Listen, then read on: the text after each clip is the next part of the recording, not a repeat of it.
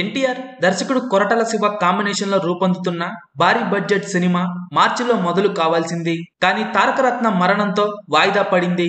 Janata garage తరువాత ఎన్టీఆర్ కొరటల శివ కాంబినేషన్లో ఓ cinema రూపొందుతున్న సంగతి తెలిసిందే.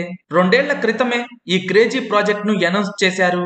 కానీ ఈ సినిమా సెట్స్ పైకి రావడానికి అవాంతరాలు ఎదురవుతూనే ఉన్నాయి. మార్చి ఇరవై నుండి షూటింగ్ను ప్రారంభించబోతున్నట్లు అమిగోస్ ప్రీ రిలీజ్ ఈవెంట్లో ఎన్టీఆర్ అనౌన్స్ చేశారు.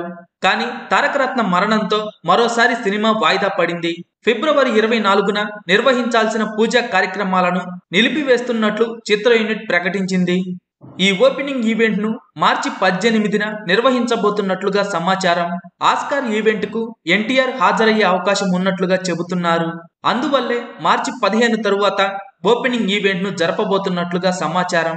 ఇక ఏప్రిల్ నుండి రెగ్యులర్ షూటింగ్ను మొదలు పెట్టే అవకాశం ఉన్నట్టు తెలుస్తోంది.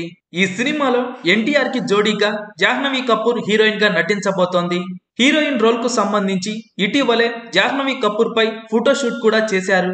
ఈ సినిమాలో బాలీవుడ్ నటుడు సైఫ్ అలీ ఖాన్ విలన్గా నటించబోతున్నారు. భారీ ఎత్తున తెరకెక్కబోతున్న ఈ సినిమా పాన్ ఇండియా రేంజ్లో రిలీజ్ను ప్లాన్ చేస్తున్నారు. ఎన్టీఆర్ హీరోగా నటిస్తున్న ముప్పైవ సినిమా ఇది. ఈ సినిమాకు అనిరుద్ సంగీతం అందిస్తుండగా ఈ సినిమా అదిరిపోయే రేంజ్లో ఉండబోతోందని అంటున్నారు. ఎన్టీఆర్ హీరోగా కొరటాల శివ దర్శకత్వంలో ఎన్టీఆర్ ముప్పైవ సినిమా ఎలా ఉండబోతోందని మీరు అనుకుంటున్నారో కింద కామెంట్స్ రూపంలో తెలియజేయండి.